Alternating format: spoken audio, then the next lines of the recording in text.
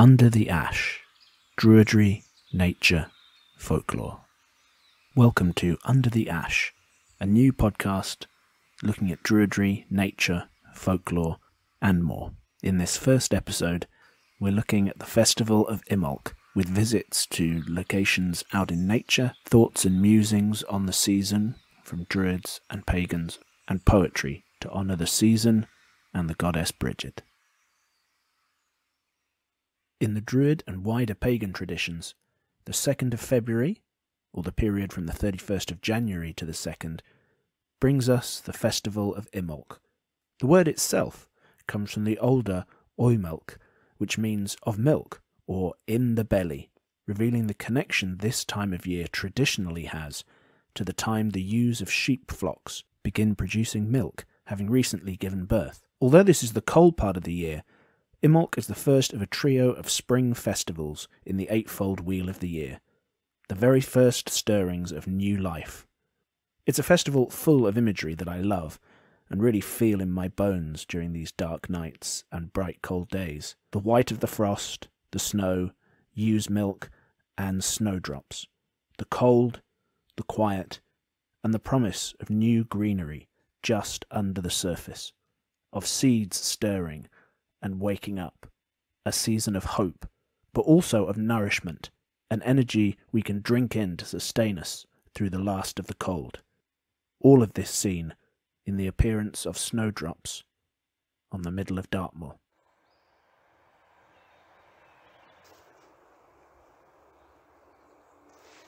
So it's a day at the end of January in 2022, and I'm standing here in the churchyard of St Raphael's Chapel on Dartmoor. It's late afternoon. You can hear the bird song, the river across the road, the water rushing over the rocks, and it's very nearly Imbolc in a few days. And the reason I'm here in this particular churchyard is because there is a already a thriving bed of snowdrops there are all these beautiful little white droplets just scattered across the green of the grass here. And it's an interesting place to be ready for Imbolc because we'll be talking elsewhere in the podcast about Brigid, Brigantia, and the idea of new life and healing, and St. Raphael. And this chapel are dedicated to healing as well. So, even here in this place that feels very Christian, there are some other links into the pagan vibe of this time of year. And it's really heartening. It's one of my favourite moments in the year where you get these little bursts of snowdrops. The first spring flowers of the year, and that idea that we're probably in the coldest part of the year now as the climate shifts. But there's this sense that new life is starting up again. We've got new growth here. And when we were driving up onto the moor earlier on, we were driving through some areas that have been affected by wildfires, and you can see the regeneration, the new growth there on top of the burnt bracken. So there's a real healing sensation to this place, and a real sense of hope for the year ahead after a few years of, well, maybe needing a little bit more hope than usual. And I'm just going to have a little bit more of a walk around and see what else this place has to offer.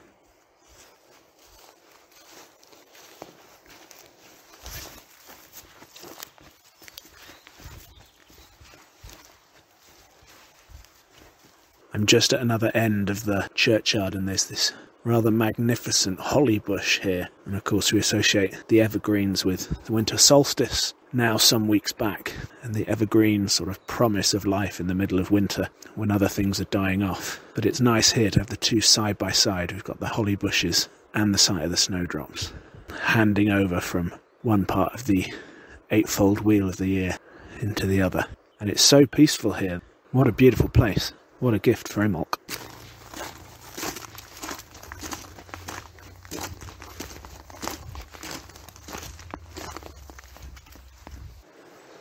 Just walked down from the chapel to the river, which hopefully you can hear in the background.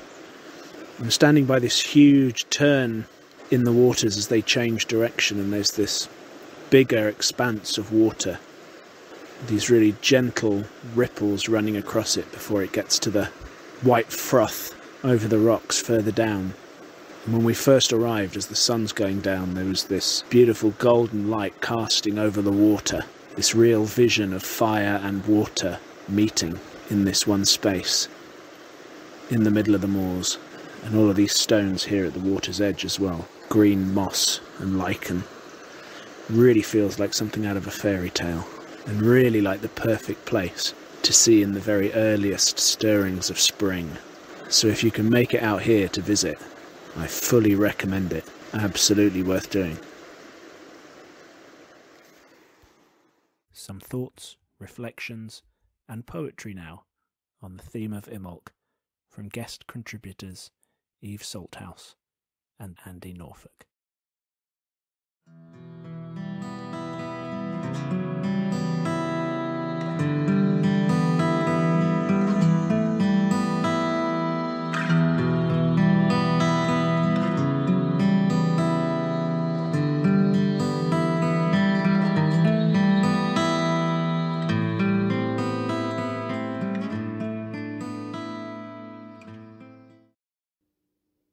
Most pagans see Imbolc as a spring festival, a time to celebrate the first signs of spring.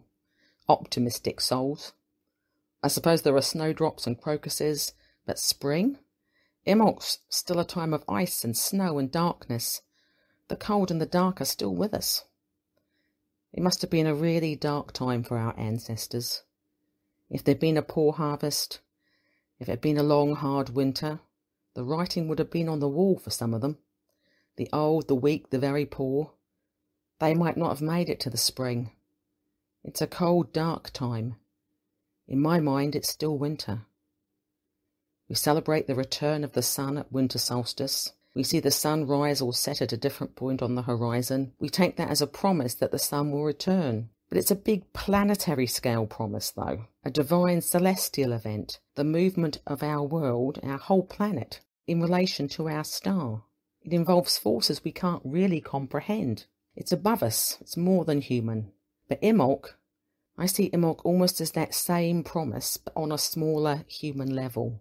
We see those delicate wee flowers, the buds on the trees, the pussy willow.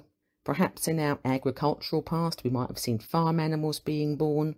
A promise of sun return made in more humble human terms. Even the way we traditionally celebrate Imbolc is altogether more small scale, more human. We don't light great bonfires, but a candle in the window. We're not out celebrating among great stones. We celebrate at our hearths at home. We make reed crosses or dolls out of reeds. Nothing grand or mighty. We're still huddling at our hearths, lighting our way with a candle flame. We celebrate poetry and smithcraft, both crafts of fire and passion. The lamb might still be locked in ice and frost, but we're defiant like those little flowers. I don't really see Imbolc as about pretty flowers and fluffy lambkins. We're being defiant in the dark. We're hanging on. We're going to make it to the spring.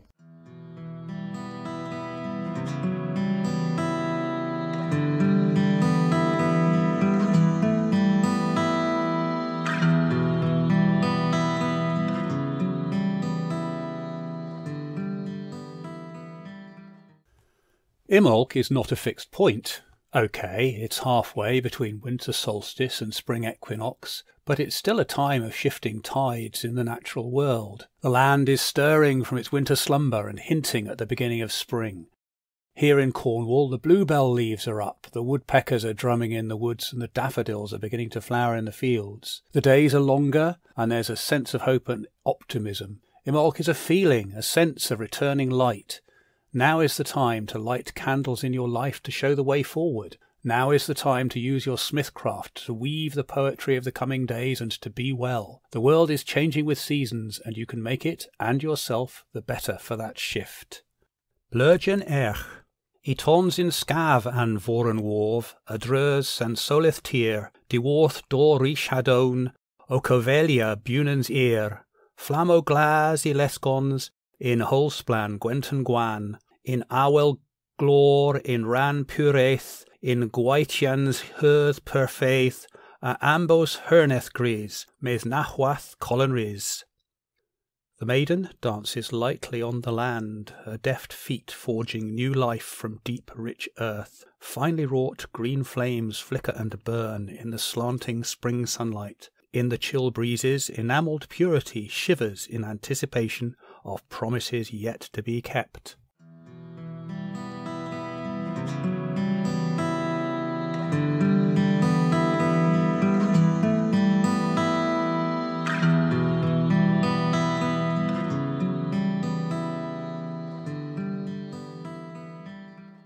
Hello, my name is Linda Haggerstone. I live in the west of Scotland. I'm Canadian, and I became a druid in about 2007. My bardic initiation took place among many treasured friends, and on that day, two very special people, beings, attended my initiation. There was a beautiful, shy lurcher named Hamish, and unexpectedly, a very large earthworm that I called Wormish. Both Hamish and Wormish inspired me that day, and I've been a bard ever since. Today, I would like to read for you an excerpt from the most remarkable book, The Lightbringers, by Karin Celestine. I'll just read a short excerpt from that book, and then a piece of my own writing in honor of Breed Saint Bridget and Imbolc. So, first the excerpt. The creatures feel the pause and the shift and murmuring of earth's sleep. And so it begins. At the sound of her outbreath, the hare, who has guarded the moon full of the silver shining light of the sun, calls the small ones to her. All through the darkness, small beings gather up the tiny sparks, almost extinguished, but not quite. They take the embers and gently place them in their sea lanterns, and they start to walk. One by one, they come out and gather together, the light bringers, the bearers of spring. And my own reading, which was written in Glasgow in uh, the West End at a church in the courtyard. And uh, this is Breed's Fountain. Weeping for the love of Breed. My tears filled the fountain. The milky water rose, and from the center of the pool, the lady's blessings rippled outward. Anahita of the Celtic lands, Guan Yin of the enchanted isles. She came to me, singing sweetly in the night, whispering my name. Bubbling up from the earth, her laughter lifted me. Dancing round the circle, her flames embraced me singing sweetly in the night, whispering my name. Minerva of the Oaken Grove, White Buffalo Woman, is here. She stays with me. The milky waters rise, and from the center of the pool, the lady throws out her mantle net. Sleeping in the arms of Breed, my dreams fill the fountain. Thank you for listening. Blessings of Imbolc to all.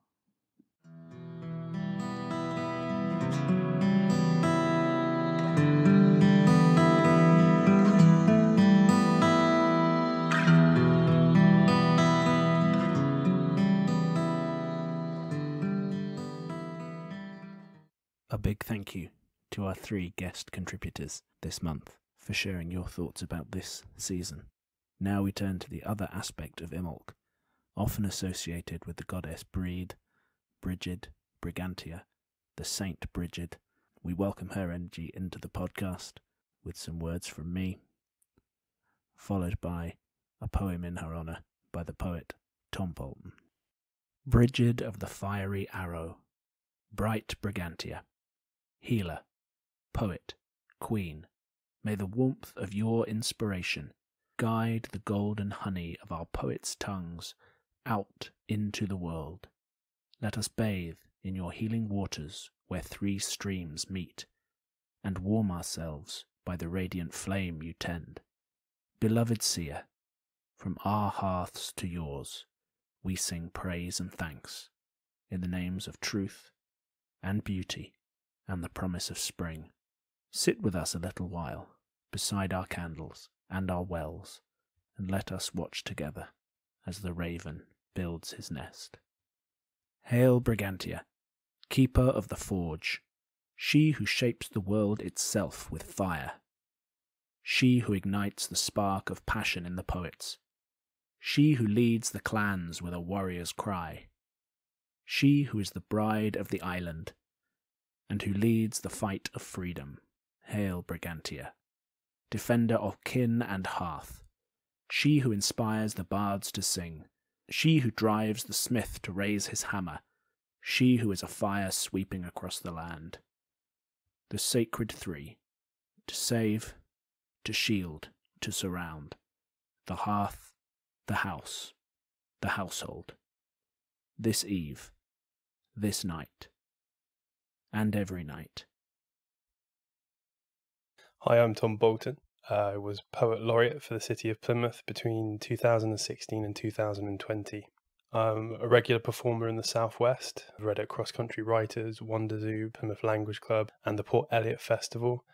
Um, I've also had the privilege to read at the Pagan Federation Conference. Uh, it was held in Glastonbury. Got to claim that I've read at Glastonbury, not the big festival, but a but a little one. I've also been involved in projects like the artistic response to the Poppies Wave that was was on the Hoe, robotic poetry collaboration with Volume AI, which was awesome. Uh, I've been lucky to work with Radio Devon during lockdown. We did a weekly poetry slot, and uh, now I've got my own local community radio show, Deadbeats, on P Town Radio. I have two collections Prima Materia, which was my first, which was autobiographical 13 years of my life. And my most recent one is Gebo. And as you can tell, both of them have got alchemy and runes and, you know, pagan elements that are interwoven into the modern take and the contemporary feel of the books. The poem I'm going to read for you today is called Brigid and is in honor of the goddess and Imbolc and draws on lots of different symbols, lots of themes to do with the goddess, to do with the coming of spring, and uh, I hope you enjoy it. Brigid. Wisdom irritated into frozen fractals on the forest floor. They will thaw and gather with the thickening flame. Laws of physics, laws of healing. Shrinks the frightened shadows on our foreheads. Wound darkness evaporates. A coverlet lifts. The land stirs and rises, stretches open palms to greet a fresh warmth now present. Midwife, guide this newborn. Let its cries feed flowers, let the flowers feed bees. Tell the bees the old master is dead, garner their gift, and bake it into our bellies. The ghosts of wolves howl to purify their bright eyes, howls trapped between their moon and the snow moon. Let them gaze upon her name, bless it and us, for we reside in her grave, a cross of stone to mark the soul. For we are tuned into the song, soaked in its melody that skims across Plutonian waves, crashes into the land of thunder, the land of snakes, where keepers of the cauldron and its secrets assemble in great mystery to witness the thickening flame. How it burns fetid flesh, grafted with grasses from the soul of viridescent skinned feet. He who comes to dance in spirals between the skelfs and the spools through the tombs, calling to unpick discreet syncretisms. Dawn goddess, your red candle lit by a kiss from the thickening flame. Your appetite grows, hungry for renaissance, a proem for vernal phenomenon.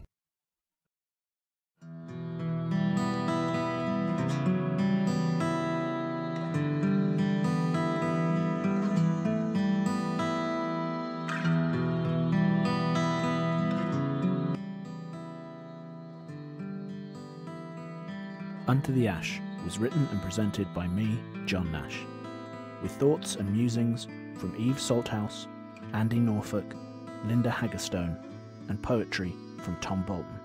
Music by Mr. Smith, licensed under Creative Commons. If you'd like to get in touch, you can email us at undertheashpod at gmail.com or find us on Facebook, Under the Ash, and Instagram at Under the Ash Pod. Until next time, go gently.